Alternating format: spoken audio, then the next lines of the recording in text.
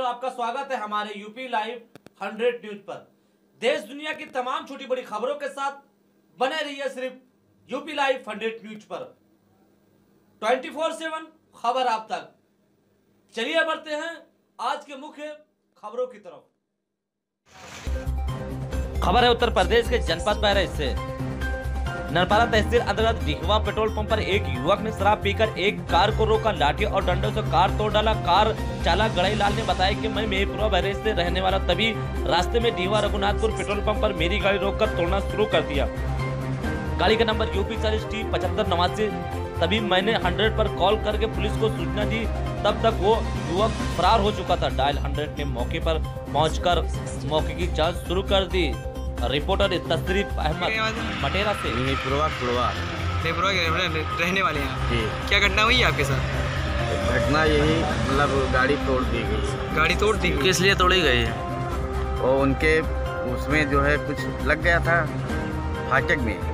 तो उन्होंने जो है लाठी से मेरा शीशा तोड़ लाठी से लाठी से।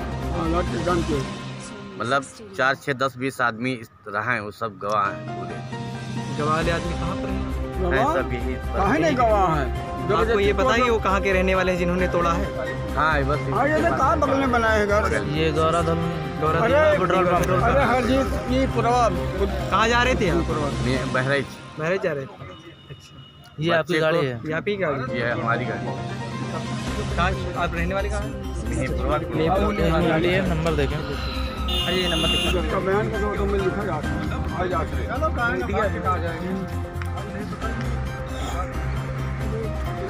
आप घटनास्थल में मौजूद थे? जी। क्या नाम है आपका? अर्जुन जायसवाल कहाँ रहते हैं? दुर्गापुरवा ये कौन सी जगह है?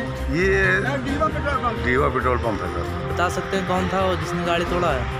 अब वो सरदार हैं। हाँ, यहीं के रहने वाले हैं। हाँ, और हम लोग समझौता करा रहे थे फिर भी उन्होंने लाठी डंडे से तोड़ा इसको। इसको? हाँ। मानने पर भी नहीं माने। नहीं माने। और फिर हमने नानपारा तक पीछा भी किया उनका। फिर बीच में गायब हो गए। कोशिश की। इनके पक्ष में केवल हम ही थे। या तो सरदार लोग भी थे। जितने सरदार हैं सब थे इनके पक्ष में हम लोग मौजूद। हाँ मौजूद थे भी इस विपक्ष के पक्ष में थे सरदार लोग।